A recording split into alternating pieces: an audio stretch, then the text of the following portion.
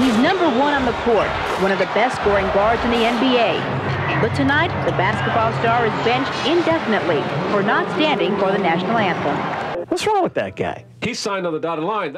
That's the rules of the game. This is belief, and I won't compromise my beliefs. Abdul Rauf also says he's opposed to standing for the flag, which many here consider a symbol of freedom. It's also a, a symbol of oppression, uh, of tyranny. The Nuggets star converted to the Islam faith in 1991.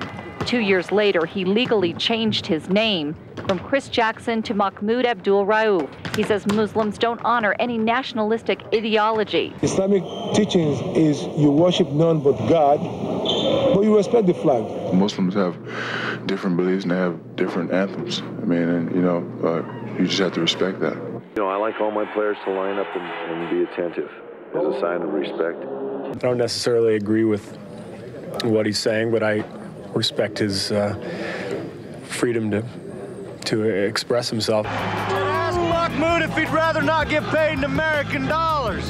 The lead should had nothing to do with that. They, that was way too tough.